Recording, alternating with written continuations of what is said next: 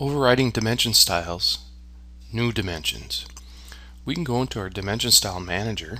Let's go up and we'll click in our dimension style manager here. And we can modify uh, our dimension style just for a few draw, uh, dimensions or so. So we would do that by hitting the override button. This will be temporary just for this style only. So I hit override and then it says what do you want to change? Well I want to come in and change my offset of the origin to be zero. And I'll say OK and now I'll close. Now when I create my uh, dimensions for my location of my hole I can say endpoint to endpoint you notice how there's no gap in here right now. And I'll come over and I'll do the other one.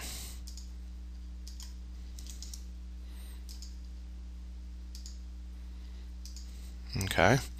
Now the minute I switch dimension styles uh, it will terminate this override. So um, I can go let's say over here to annotative. And I can go back into my and you'll see that that override it used to have a little uh, child come down here a little bracket type thing come back. And so now I can set that back to current. Uh, so anytime you use the override you'll see a little drop down and it'll show that it's overridden.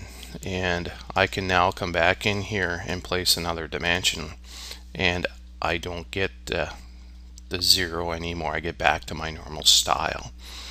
So you can use what's called a dimension override in the dimension style manager.